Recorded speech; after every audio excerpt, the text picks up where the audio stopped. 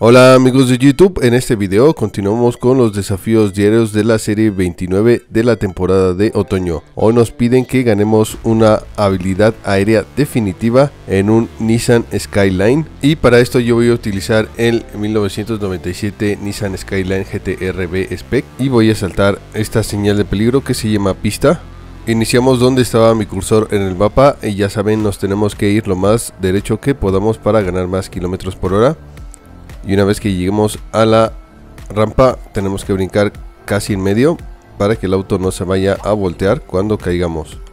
Y es así como hemos llegado ya al final de otro video. Yo me despido. Recuerda que yo soy Egus Estrella y nos vemos en el siguiente video. Hasta luego.